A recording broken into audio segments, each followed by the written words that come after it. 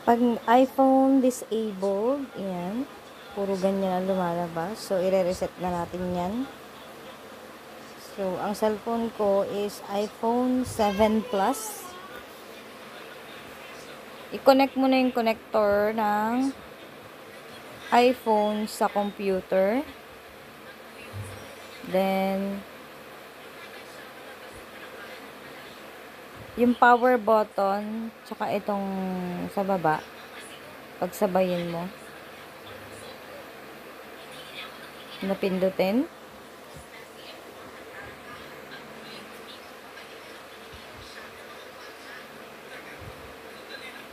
Yan, may, may, magpa-pop up dyan na iTunes. Kailangan meron ka ng application na iTunes sa computer mo. Yan, ganyan.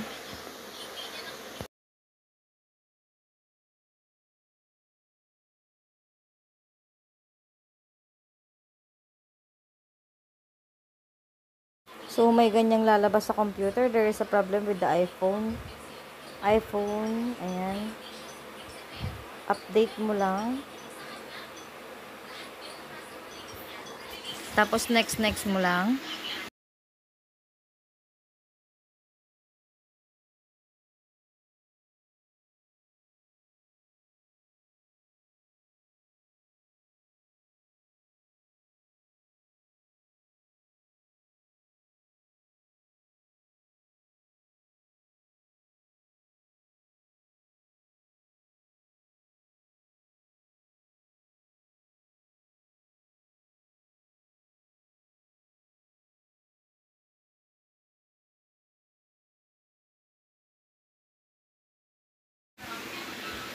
Wait mo lang yan dahil may dinadownload pa tayong app kung saan siya nagda-download.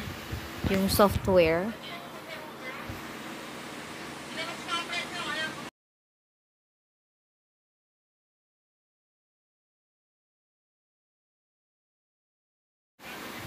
So ayan na.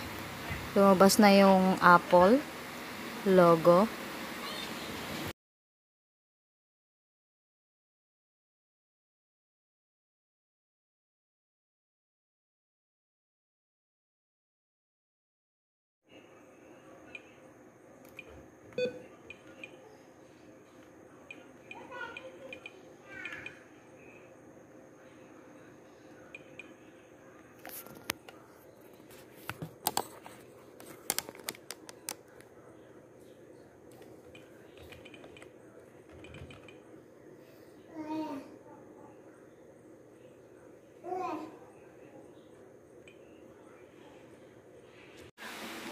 Yan, okay na. Welcome to your new phone.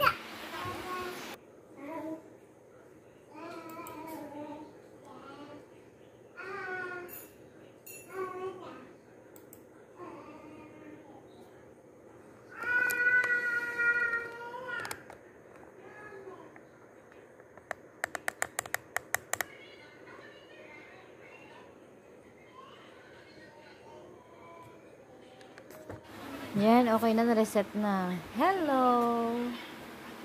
Hola!